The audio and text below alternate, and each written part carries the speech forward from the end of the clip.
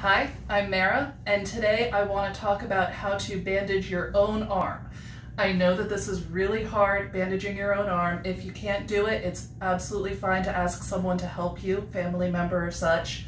We're going to start with a nice clean arm that has been well moisturized, well lotioned with a lotion your skin is happy with, and get a clean piece of stockinette with no wrinkles and folds and a little bitty cut for the thumb.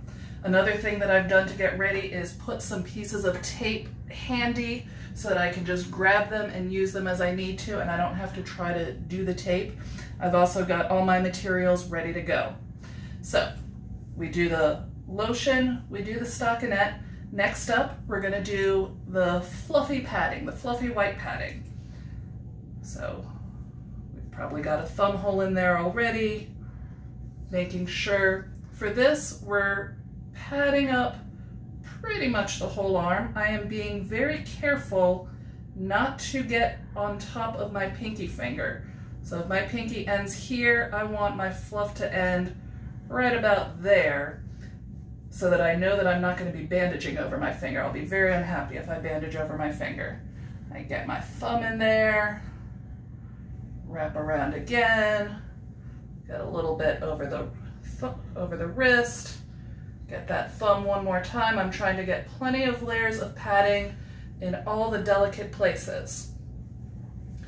Now, in general, when we're looking at padding, the places that are most important is the hand up to right here, the inner elbow, and the armpit but I am going to just use fluff as my only padding for this video. You might have been given foam to use as part of your padding. That's something that tends to be very individualized, which pieces of foam we use where. So for the video, I'm just gonna use the fluff.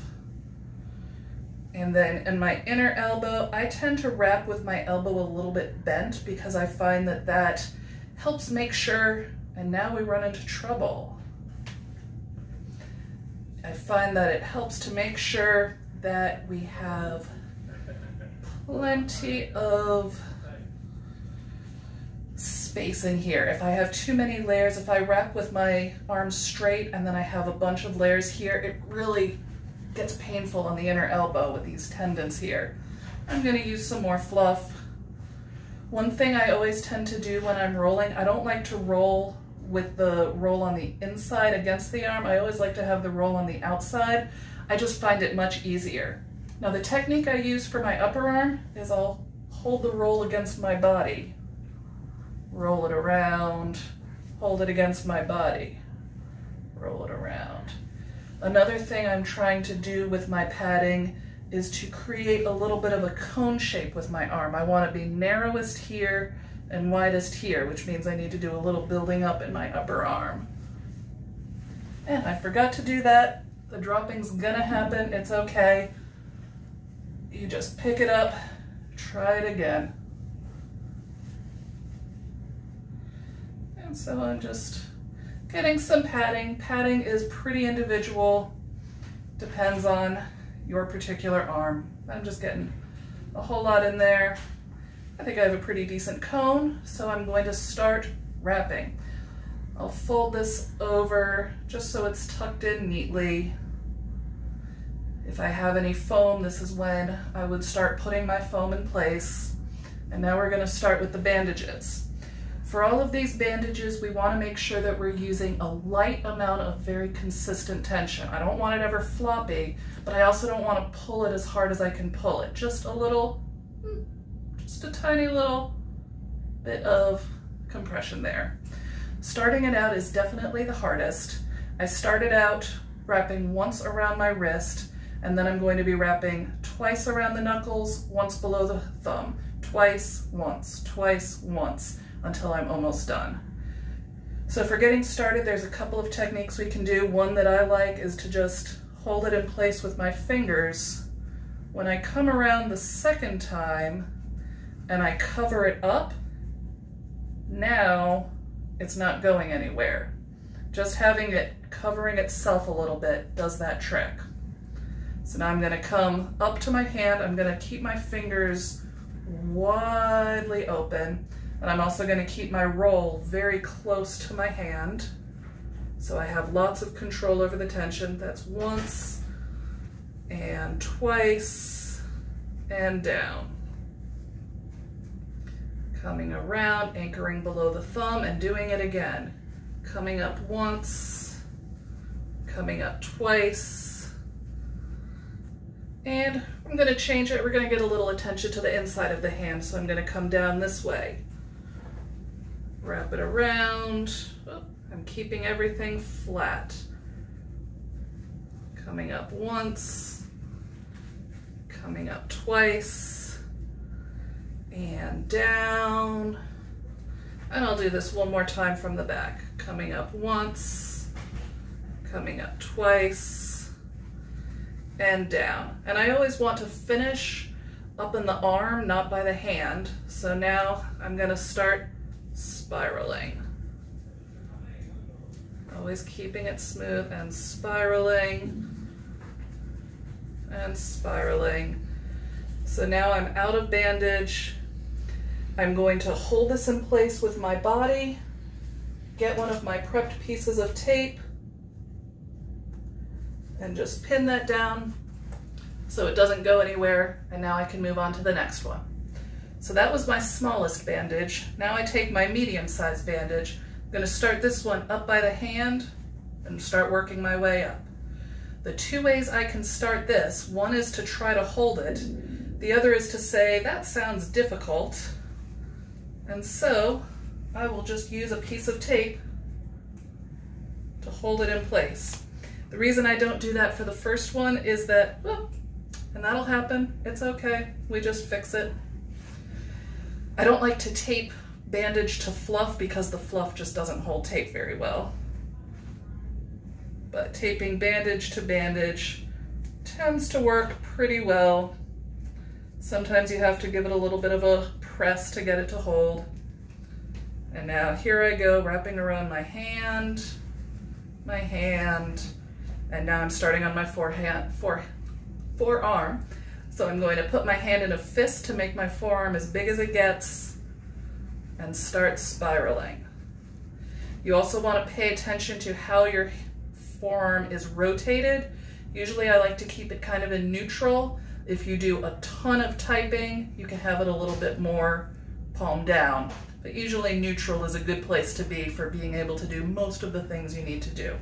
Really depends on how you use your arm once it's wrapped. And I keep on unrolling and spiraling, unrolling and spiraling. Something to notice as I'm doing this is the spacing of the wraps. I'm trying to keep this fairly consistent spacing. And I do that because the number of layers controls how much pressure I have on my arm. And I wanna make sure that I have, am going from most pressure to least pressure as I work my way up. So it's important to be attentive to how your layers are going. If you don't like it, if you don't think you did a good job, you can always back up, put it back on again. And I'm gonna keep working my way up, keep working my way up. So now I'm getting close to my inner elbow. I have a decision to make. I can either keep going the way I have been, which is fine, or I can do a little protective X in my inner forearm. I only do this the first time, but I'll show you the protective X. So I go up in a crisscross, bring it up, anchor it around my upper arm once. I did not get this high enough in my armpit. Oops. Grab it again, and now I do my crisscross down. And the reason I do that is because I'm trying to avoid having it do a lot of bending and having anything digging into my palm. So if I want to keep my elbow still, I can now start using my thigh as part of my one-handed techniques. And then once I get as far as it gets, get my prepared piece of tape. I can't see it, but I'm kind of going by feel. Tape it down, and that's the second bandage. We're getting there. Now I take my third bandage. I'm gonna do this the same way where I start by pinning it in place. Make my fist, starting at the wrist. And I'm still trying to aim for fairly even spacing.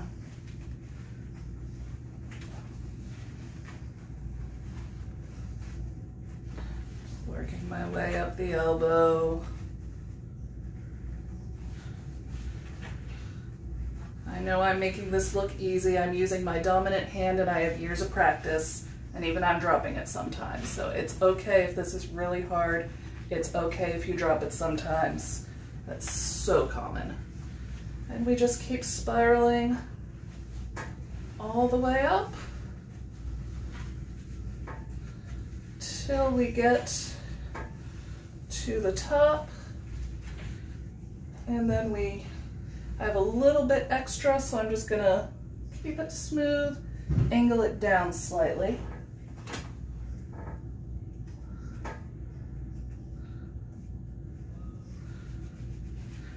And we're gonna do the last ones the same way.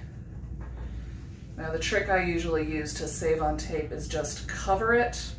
If you can manage that trick, great. If not, use the tape. There's lots of tape in the world. Keeping my consistent spacing. Now you notice that I'm never letting the bandage flop around and that's partly because I'm trying to keep the consistent tension on it and it's partly because I don't want to drop the darn thing.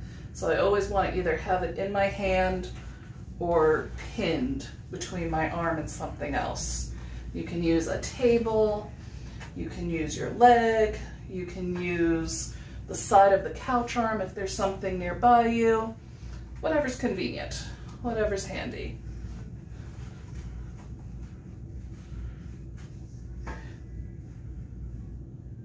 Just trying to get my very tippy top there. And I have definitely got too much at the top. So rather than going around and around and around in the top, I'm going to sharply angle it down. You remember how I said that the number of layers means controls the amount of pressure?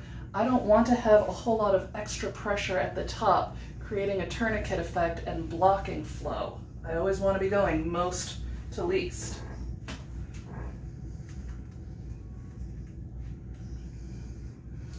So I'm just to hold that in place there. And it means that I probably had my layers a little too far apart if I had that much extra. So for the next one, I'll just make my layers a little closer together. Get my little, oh, keep my fist in place.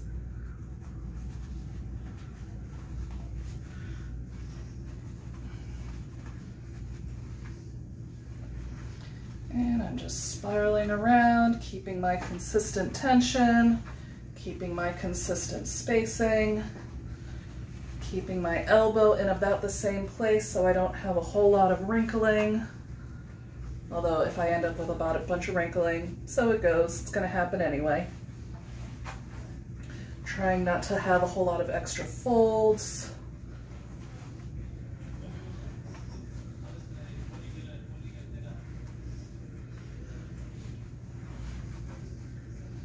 My hand is getting tired, so if you need to take rest breaks during this, that would make a lot of sense.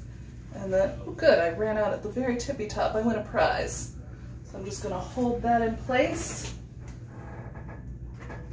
Get my tape, pin it down, use a couple of extra pieces of tape to really hold that.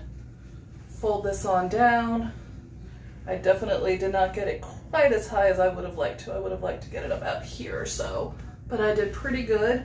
I'm gonna just kind of squeeze it, make sure there's no spots that are super hard or super soft, and then I'm gonna help myself bend it a few times, make sure I've got my mobility, make sure I can bend my wrist, make sure my fingers feel good, I'm not going numb.